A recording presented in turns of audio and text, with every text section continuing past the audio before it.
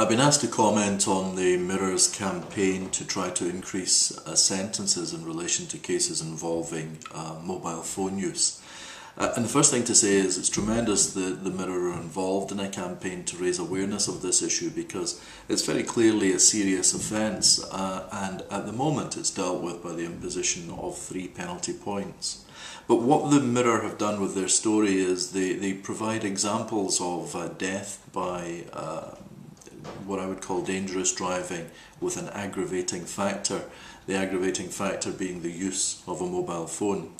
Now, uh, when they demand stiffer penalties for that, it's wrong to, uh, I think, mislead people by indicating that you might just receive penalty points or some sort of sentence in those ranges. Uh, the fact is that if you are convicted of death by dangerous driving, uh, Section 1 of the Road Traffic Act, and the aggravating factor is that you were perhaps texting on a phone, then you can expect a very substantial sentence. The sort of guidelines are between uh, 8 years and 14 years uh, imprisonment uh, and a ban uh, from driving.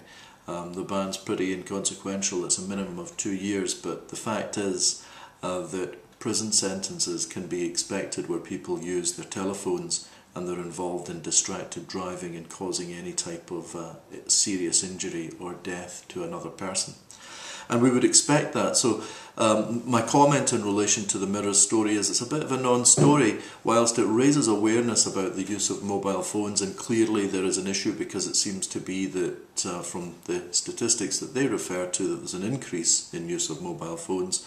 The fact of the matter is that many people should in fact be charged with careless driving or dangerous driving if they're using their mobile phones whilst driving. They shouldn't simply be charged with the straightforward offence of use of a mobile phone uh, whilst driving. That's entirely a matter for the police and the Procurator Fiscal in Scotland. So when the police report the case, one can expect that if the report provides enough detail of the circumstances of the case and the Procurator Fiscal is concerned enough about those circumstances, one would expect to be um, charged with dangerous driving or careless driving and the sentencing options are much higher there. In relation to careless driving, 3 to 9 penalty points or a discretionary ban would be available to the court. In relation to dangerous driving, a mandatory ban of at least 12 months in order to resit uh, your driving test and uh, a high level of financial penalty could be expected. Um, the story in relation to the mirror as I say, is worthy because it highlights a real serious issue on the roads of Britain. And that's uh, pointed out by their own research and the photographs that they have showing, uh, I think, more than 70 odd drivers uh, involved in driving and texting and driving and using their, their mobile phone to make or receive a call.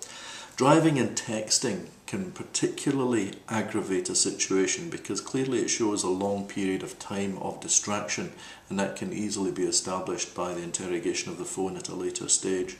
So these charges are already serious. Uh, if they're involving a death, if they're involving an injury, people can expect a custodial sentence. Um, if you're involved in any such offence, then obviously you should contact a solicitor who has some experience in this field.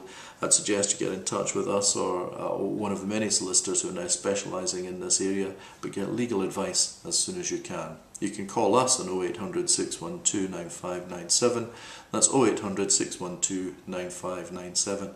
Uh, we don't charge for our initial consultation and we'll meet with you and look at your case and discuss the strengths and weaknesses of your case and provide you with legal advice on that.